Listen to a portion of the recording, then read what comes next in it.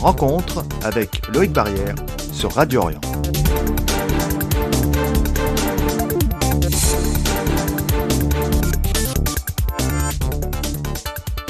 L'invité de rencontre est le docteur Fouad Abou Nader, fondateur et président de l'ONG Naoraj. Bonjour.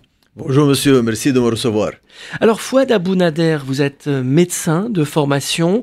Près de 20 ans après la guerre civile au Liban, vous avez fondé l'ONG Naoraj. C'était en 2010. D'abord, pourquoi avez-vous fondé cette ONG et quelles ont été les activités euh, de cette association l'année de sa création? Car j'imagine qu'elle a pris de l'ampleur ces dernières années, notamment en raison de la crise économique et sociale que traverse le Liban. Si vous me permettez, je vais commencer juste par ajuster un petit, un petit cliché qui existe chez tout le monde, c'est la guerre civile au Liban. En fait, la, guerre, euh, la guerre au Liban, c'était une guerre contre les étrangers, essentiellement à 80%, qu'ils soient israéliens, syriens, palestiniens. Et à 20%, elle était entre les Libanais. Donc, euh, si vous voulez, on peut l'appeler la guerre du Liban ou les guerres, euh, les guerres au Liban, mais pas la guerre, la guerre civile libanaise, c'est devenu comme un cliché qui est utilisé par tout le monde.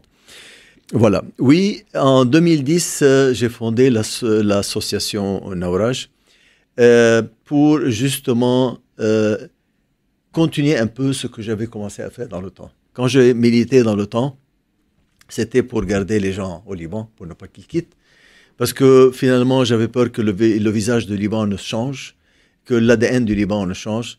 Et si jamais il y avait, par exemple, les chrétiens qui allaient quitter beaucoup plus, ou les druzes, ou les sunnites Vous étiez un, chef de, de, milice, de parti politique au Liban Oui, de la milice chrétienne du Liban.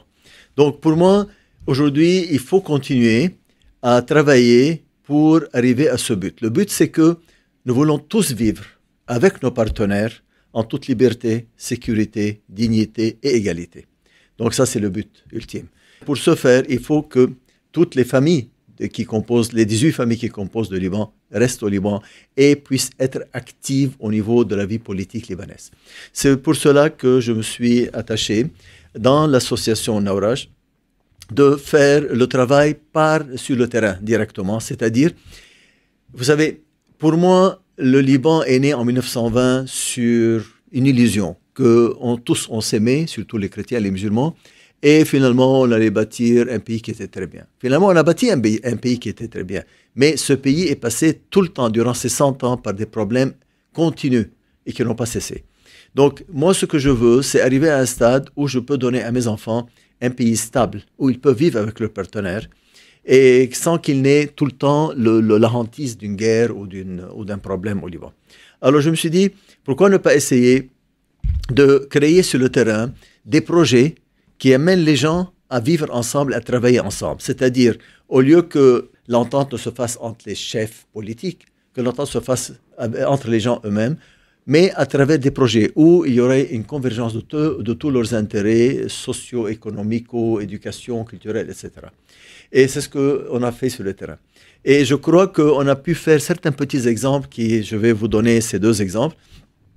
En 2014, il y a eu un grand clash entre l'armée libanaise au nord-est du Liban dans un village qui s'appelle Ersal. Ersal, c'est un village sunnite de la Beka qui, euh, qui a abrité 120 000 réfugiés syriens, parce que c'est juste à la frontière syrienne, alors que le village est de 25 000 habitants uniquement. Par la suite, après le clash, les gens de Daesh, parce que le clash a été avec les gens de Daesh, ils ont pris 41 otages de l'armée libanaise et de la gendarmerie libanaise. En arrivant en montagne, ils ont tué immédiatement trois chiites. Les chiites ont kidnappé des gens de Ersal pour les tuer en représailles. Et les gens de Ersal ont kidnappé des chiites en représailles. Ce qui fait que par la suite, bon, ils se regardaient comme ça, comme des chiens de faïence. Et euh, là, à ce moment-là, j'ai parlé avec le maire d'un village chrétien qui s'appelle Ras Balbek, rien à voir avec la ville de Balbek, qui est chrétien. Et je lui ai dit, fais deux coups de fil un au maire de, de, et un au maire de Hermel, qui est une grosse bourgade euh, chiite, et voir si on peut faire cet échange. Il a été étonné de voir que tous attendaient quelqu'un qui vienne au milieu, qui, qui, qui, va bâtir ce, ce, pont entre les deux. Et voilà, ça c'est le rôle des chrétiens finalement au Liban. Trouver une, un terrain d'entente pour qu'on puisse vivre tous ensemble. Et je crois que le côté économico-social est, je crois, la, la, la façon la meilleure de le faire. Le rôle des ONG est vital au Liban en raison de l'absence d'institutions fortes. Absolument. En l'absence de l'État, simplement. Il n'y a pas d'État aujourd'hui. L'État est complètement... Il y a une dilution de l'État et de l'autorité de l'État. Il est en faillite, l'État est en faillite, ce, qui fait que les gens doivent se, se, se, débrouiller eux-mêmes. C'est pour ça que toutes les ONG au Liban ont fait un travail merveilleux. Bien sûr, il y a des ONG qui ont fait de l'argent, enfin, comme partout, mais les ONG ont fait un travail merveilleux. C'est grâce aux ONG que les gens arrivent à subvenir à leurs besoins aujourd'hui. Alors on a parlé euh, de la création de l'ONG Naourage en, 2010. Est-ce que les, les, besoins sont devenus de plus en plus importants avec les années? Ah oui, ça a augmenté parce que vous savez, en trois ans, l'autorité politique au Liban qui est complètement déliquescente, qui est complètement irresponsable, n'a pas créé, n'a pas trouvé une seule solution en trois ans. Ça fait trois ans que le FMI attend que le ministère, que le gouvernement libanais vienne avec un plan et qu'ils s'entendent avec le FMI pour enclencher le processus de sauvetage économique et financier du Liban. Ils n'ont rien fait en trois ans, ce qui fait que les gens sont laissés à eux-mêmes. Nous sommes aujourd'hui sans président de la République, nous sommes aujourd'hui sans gouvernement. On a un, un chef de gouvernement qui a été pressenti, mais qui n'a pas, qui n'a pas pu fonder son nouveau gouvernement. On a un Parlement qui est aujourd'hui paralysé parce que le, gouvernement, le Parlement aujourd'hui n'a qu'un seul rôle, c'est élire le, le, président. Donc ce qui fait que euh, l'exécutif et le, législatif, toutes, toutes, les, toutes ces instances sont complètement paralysées. Et donc ça a changé euh, le rôle de votre ONG Naourage. Oui. Euh, vous travaillez beaucoup plus qu'avant sur le terrain car le, les besoins sont criants aujourd'hui? Oui, absolument. C'est de plus en plus grand au niveau de la santé, au niveau de création d'emplois, au niveau de l'éducation. Garder les écoles ouvertes, c'est devenu une, un truc majeur aujourd'hui parce que les écoles veulent, veulent fermer, ils n'arrivent plus à subvenir à leurs besoins. Concrètement, vous aidez à, payer les enseignants, payer l'électricité, par exemple? Oui, bien sûr. Donc, euh, nous faisons, nous travaillons sur trois paramètres essentiels. Un, l'éducation. Deux, la santé. Et trois, la création d'emplois. Ça, ce sont les trois paramètres sur lesquels nous sommes en train de travailler. Bon, l'école, qu'est-ce qu'on fait? Bon, les écoles ne peuvent pas payer les professeurs, ne peuvent pas payer le, le mazout, le diesel pour, pour le générateur, parce qu'il n'y a pas d'électricité au Liban actuellement. Donc oui, pour aider, nous avons fait une injection de cash, euh, justement, pour aider les professeurs, payer les salaires, surtout les arriérés, et en même temps l'essence, et le, le mazout. Et aujourd'hui, nous sommes en train de faire une chose, c'est de travailler sur l'installation de panneaux solaires sur les toits des écoles pour justement essayer de pallier à ce, manque de, de mazout.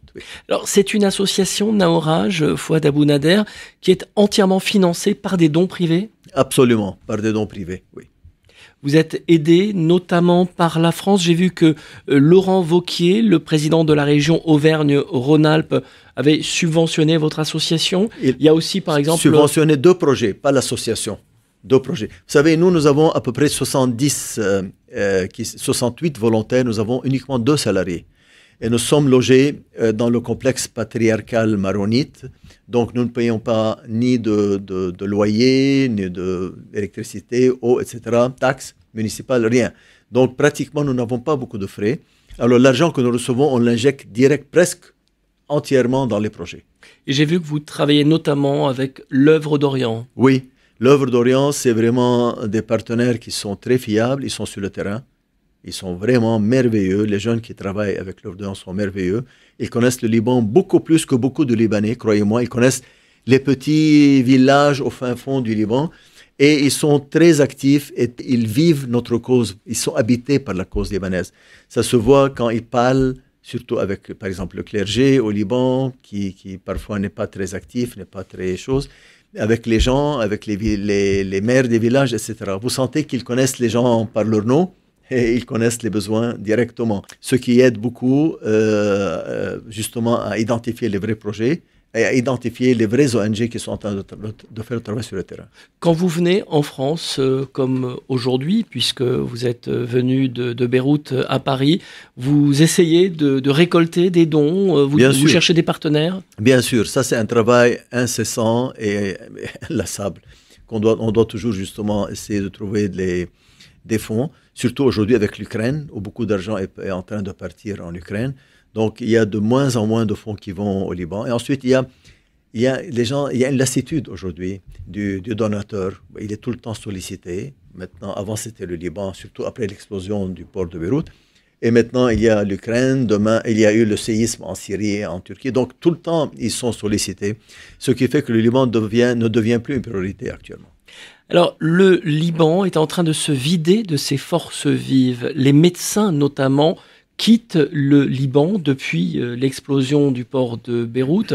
Cette crise sociale et économique est, la pire qu'ait connue votre pays depuis sa, création.